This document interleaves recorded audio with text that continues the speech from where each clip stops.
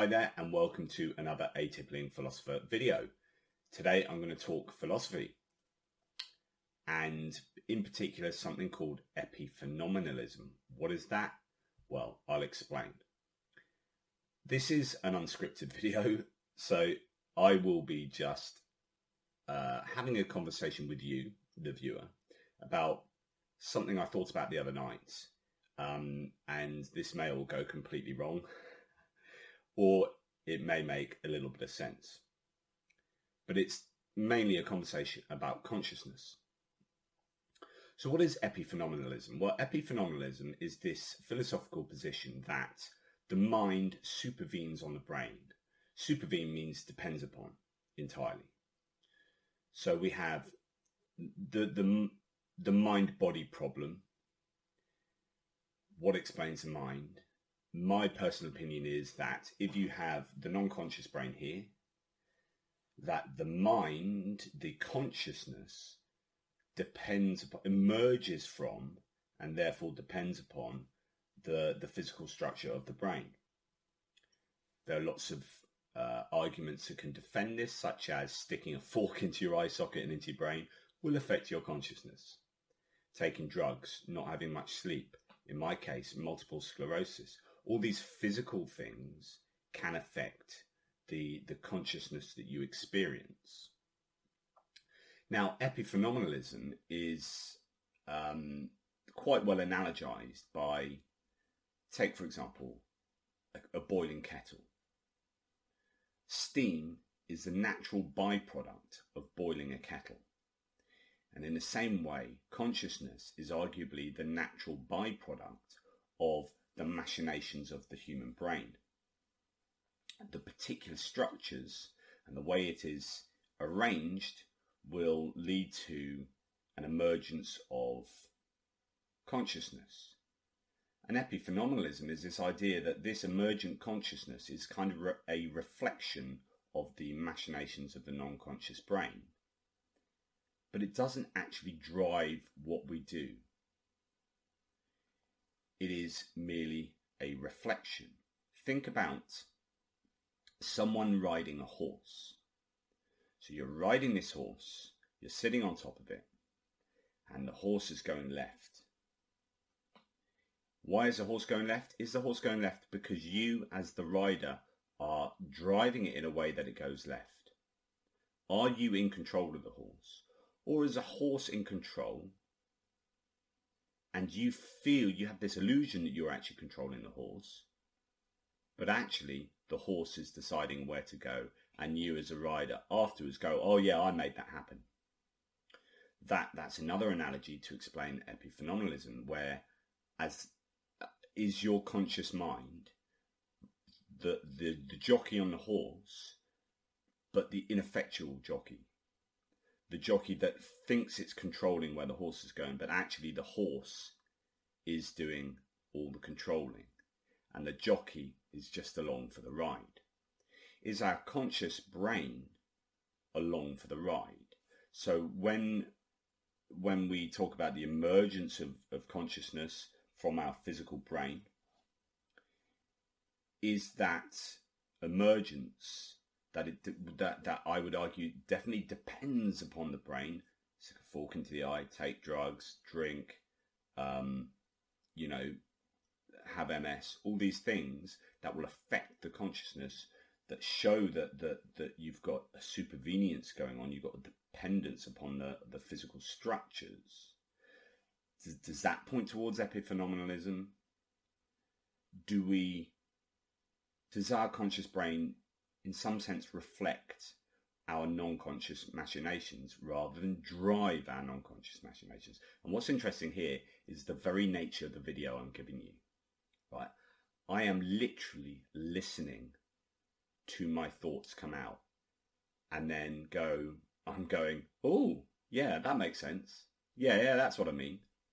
In other words, my non-conscious, I, am not choosing any any of my words. It's not like I have the entire dictionary of all the words I know, right? and then each each um, successive word I'm choosing from that, and I'm going to say that word next, and then that word, and then that.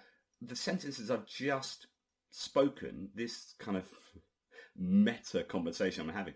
The sentences I've just spoken, I haven't chosen those words individually. They've just come out. My non-conscious brain is throwing out these sentences that make grammatical sense, I hope.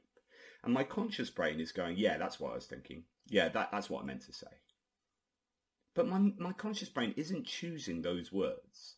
Isn't, isn't, isn't, so I think Sam Harris talked about this in, in one of his talks about free will, where he is like, you know, think about your favourite film. And it just pops into your head, right? But you didn't choose that film to pop into your head. Your conscious brain didn't select from all your fa- all the films you've ever watched and go that film.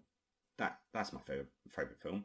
I'm going to select that one and throw that out into my mind you know, or retrieve that into my mind because I am the mind, I'm the conscious mind. I didn't select that film and retrieve it into my mind. My non conscious brain threw it out to me in response to what's your favourite film? In other words, your thought processes aren't driving your thought processes. Your thought processes are being driven by your non conscious machinations. Whoa. So this is all kind of like, wow. Now I had an experience the other night that that that I think really well, I'm going to ask you, arguably, I would say arguably, uh, evidences epiphenomenalism. But does it? I don't know. Have a think. Or let your non conscious brain have a think. And let your conscious brain go, yeah, I did that. Anyway, the other night, I was trying to think. Now, bear in mind, I've got MS, multiple sclerosis, so sometimes I can't remember words or things that I really should be able to remember. And my conscious brain is like flailing to try and get that word or that idea. And the other, I, the other night, I was trying to think of the actor in The Truman Show, very famous actor. You, you, Dumb and Dumber, all these films. You know the actor, right? So I'm trying to think of that actor. And uh, my conscious brain was going, come on, what's that actor? What's that actor? And then I was like, Cary Elwes from The Princess Bride. Cary Elwes. I like, it's not Cary Elwes. I know it's not Cary Elwes. But, but I'm being thrown out this idea, Cary Elwes. And then later I was like, it's Jim Carrey. Of course it's Jim Carrey. And I thought, wow, this is really interesting. Why did I first think of Cary Elwes? What's going on there that when I tried to think of Jim Carrey, I thought of Cary Elwes? And of course, there's a similarity between the first name of Cary Elwes and Jim Carrey's surname. They're pretty much the same. What that meant is that my non conscious brain must have known Jim Carrey in order to, when I asked for Jim Carrey, known that here's a name that was similar to Jim Carrey. The Carey and Carey uh, are very similar, just spelt differently. So Jim Carrey, I think they're spelled differently. Jim Carrey and Cary Elwes have that similarity, and so I asked for for for Jim Carrey, but my non-conscious brain throws out or or my conscious brain is only able to access Cary Elwes. But there's a knowledge that goes deeper that that must have known I wanted Jim Carrey in order to know the similarity between Jim Carrey and Cary Elwes to then somehow throw out Cary Elwes. So there's some kind of filing system that's going on there that my conscious brain wants access to, but it can't delve in there and get the right one. Otherwise, it'd get the right one. It's being thrown out ideas, and there's some there's some kind of error going on in that in that in that filing system. And maybe it's my multiple sclerosis that's messing around with those um, with those you know algorithms and algorithms and that filing system such that I demand an answer and I get this related incorrect answer. And, and it, it makes me go, is that, is that evidence of epiphenomenalism? Whereby, you know, I'm the thinking that's being done and the filing and the processing throws out the steam that is my consciousness uh, and and and my consciousness isn't really able to affect that which comes out. Just you know i had the non-conscious brain that's doing all this filing and processing here and the consciousness here goes i want this answer. Give me an answer. And it goes ah i know the answer but there's this other thing that's really similar and something's getting in the way from giving me the, the answer that i kind of know because it's filed in here under carey under words that sound like carey and i've got mary and harry and all these other things and and I know that you want Jim Carrey, but here's Cary Elwes, and throws out this this incorrect answer. And my non-conscious brain and my conscious brain, there's some kind of recognition going on. Maybe there's a feedback loop where it goes, "Oh, I know that's not right, but you've given me a, a, a name that's really really similar."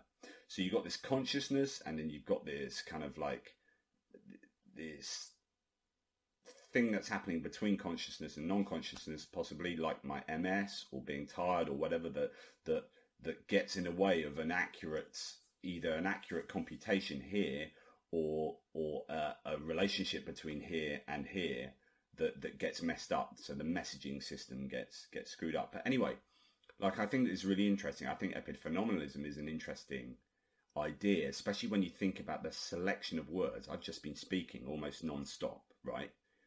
and I haven't selected any one of those words. I haven't consciously selected a single word.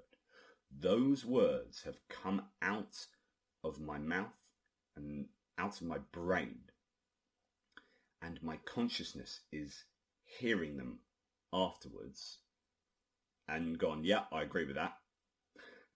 because it's almost as if there's a there's a, a separate conscious reflectional thought and the initial kind of non-conscious thought such that it comes out and and th- this consciousness kind of sanctions it. Yeah yeah. Or or or just doesn't even sanction it because it's out before it gets to veto it. So it comes out and then the conscious brain goes yeah nice i like what you did there or like dang i've thought the wrong words or whatever but it but it but it, this isn't driving this. This is not driving this. And and then you can start thinking about well, well how about well surely it drove it because I wanted to find.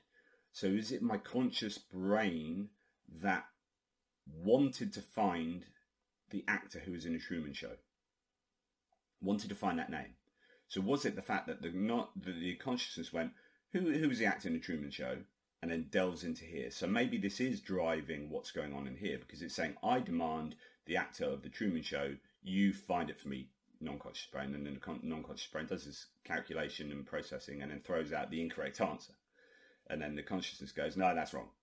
So maybe it is driving it, but then the epiphenomenalist would say that I wanted the name of the actor in the Truman Show was itself a desire from here that was reflected out to here that then seems like it's then asking back into here who that actor is for the for here to throw it back out to here to say it was Cary Elwes, and then later say no, it wasn't. It was Jim Carrey.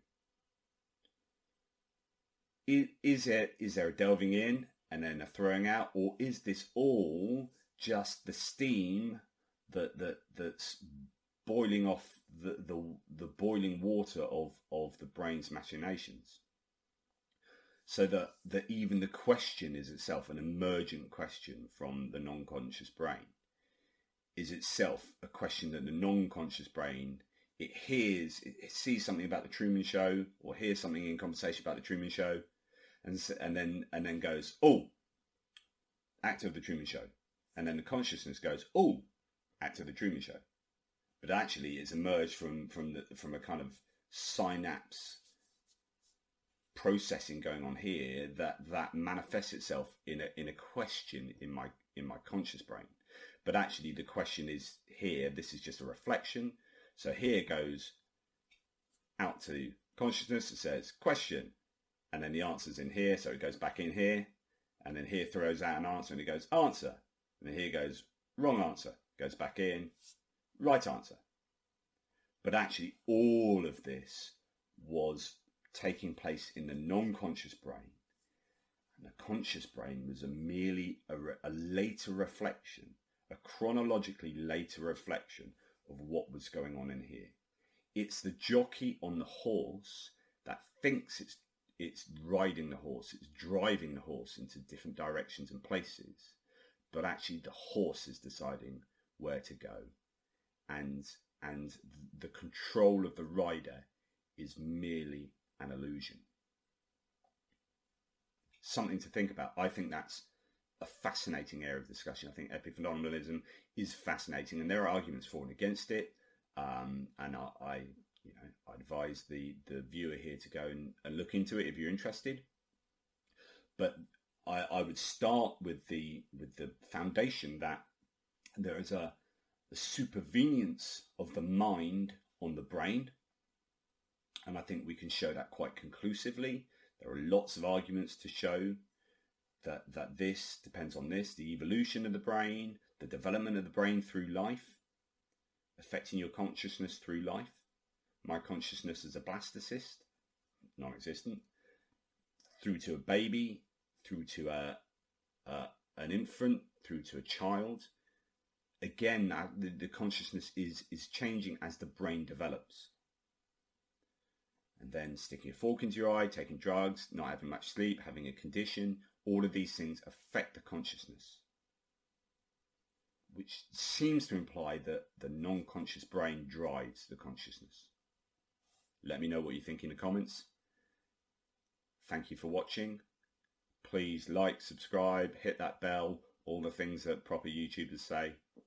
And question everything, including your own thoughts. Think about thinking. Think about what takes place for you to think about anything when you're having a conversation with someone, are you choosing those words or are you listening to those words?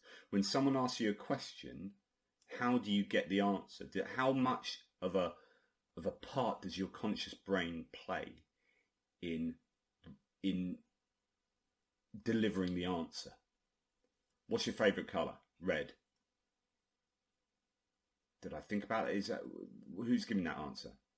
And you get this idea that there's almost two two entities going on here. There's your conscious entity and there's your non-conscious entity. You're almost like two people who, when I say who's delivering the answer, well, it's all me, it's just different aspects of me. But who's doing the driving? You know, who's your favourite actor? Where do you go on holiday last? How, how, much, how much of that thinking is done by your conscious brain how much is done by the non-conscious brain, especially since those memories are, are actually within the synapses of your uh, neurons of your of your of your brain. You know, who's in control? I think that's fascinating. Anyway, question everything. Take care. Stay safe.